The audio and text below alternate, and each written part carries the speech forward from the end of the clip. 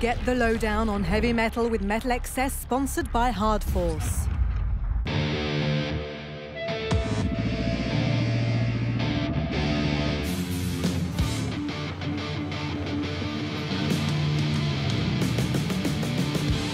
Scorpions. It's the story of a band founded in 1965 in northern Germany. A group that brought out their first record in 1972, but wouldn't find their true sound until a few years later. Until the end of the 70s, to be precise, when their success soared and they became one of the world's most famous hard rock bands. It's also the story of a group with a controversial image, and whose rock ballads were broadcasted across the world for the first time ever. It's a story that only Scorpions founders Rudolf Schenker and Klaus Meine can tell with precision. So if you're sitting comfortably, then they'll begin. Once upon a time, there was a band called Scorpions. They came all the way from Hanover, West Germany, and they loved to rock the world. Scorpions are building bridges with music. Music don't know borders between different religions, between different continents, between different philosophies, between different uh, different uh, uh, ages. You know, I think Scorpions' music is timeless. It's endless. It's the only thing we can't. You maybe can live for a long time without food. Okay, water is important, but music is also very important. Did you promise yourselves anything at the start of your careers and stick to it? No, you know, you you try to be open-minded, and uh, if you have the chance to play with the best, uh, one of the best classical orchestras in the world, like the Berlin Philharmonics, or you do an MTV Unplugged, but then you have to take on that challenge, you know, and have to go all along the way and, and make it the best you can. And the best you can means you become part of the family from Eric Clapton uh, to Nirvana to uh, Neil Young. Uh, I don't know, all of them, you know, all the greatest artists on this planet who over the years in this long period of time uh, made an MTV Unplugged. So you become, by doing this, you become part of this illustrious family of music. Oh yes, MTV. There we were, chatting away, and we almost forgot that Scorpions came to promote their new acoustic album, MTV Unplugged, live in Athens, recorded in front of 3,500 people in September 2013.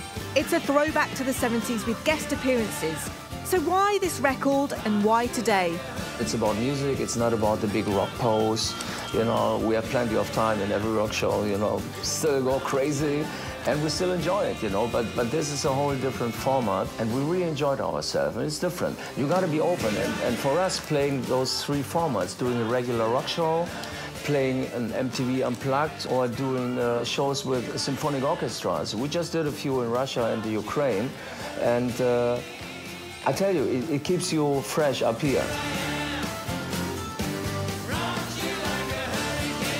The good thing is, is theater we played, uh, the highest mountain of uh, Athens, it's actually the theater was built into a rock. In 1965, exactly the time where the Scorpions were born.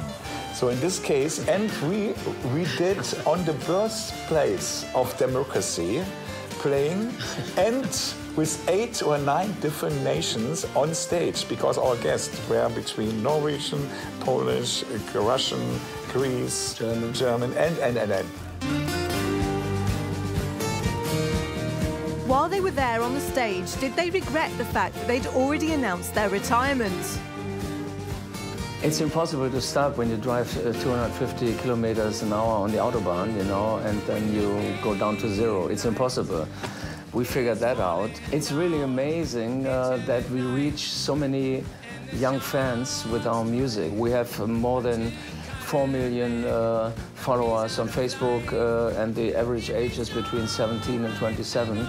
And that's amazing. And we can see it every night on stage, together with those loyal Scorpions fans that follow the band for, for all those decades and so many years. You see a whole new audience of rock fans, of Scorpions fans, in front of the stage, going nuts, singing songs that were written before they were even born, you know? Oh, yes, I am. When you're a hard rock group, playing acoustic lives can be a challenge. But as far as challenges go, Metallica played in Antarctica, We're not trying to incite rivalry, but what do they think of Metallica's feat? Well, I, I got asked for already for that because uh, they asked me, yeah, what you saying for that? I said, okay, look, we already played uh, in the highest stadium in the world, in La Paz, 3,800 meters up. So we forgot only to take the people from the from the book called the. Uh, Guinness Book of Records with us. That was a mistake. Anyway, we did the highest concert. We played in Manaus, in the jungle. Uh, one of the first bands we played in Russia. We did the first tour from uh, Moscow to Vladivostok, seven time zones. We played in a snowstorm in Siberia. Exactly, in minus 10. So, and we go and say, great, Metallica is a great band. You was supporting us uh, in a few concerts in the 80s. Great band, we like them. And we say, great, good, good, good, Yeah. well done.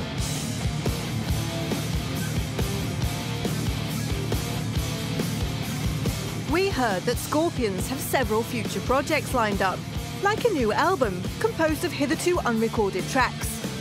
We started uh, in 2011 uh, where we said it would be cool, you know, to go back to the 80s and we found lots of material that that's been never released and uh, the lyrics, uh, most of them were just working lyrics, you know. You, all those songs, they needed a lot of work, you know, and uh, we were just, uh, yeah, in the middle of it. And then we went, went back on tour. That's a surprise. And then MTV uh, Unplugged came up, and that had priority for, for this year.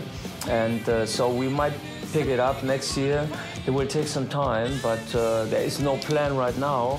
Right now, we enjoy the release of, of uh, MTV Unplugged, and uh, we will play some very few shows in, in, uh, in uh, Germany at the end of April, early May, and uh, we might come back to France for a very few shows here as well.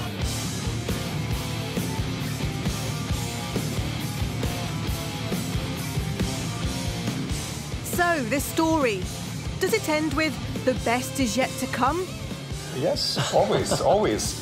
If you are positive and you think this way, the best will always come around the next corner.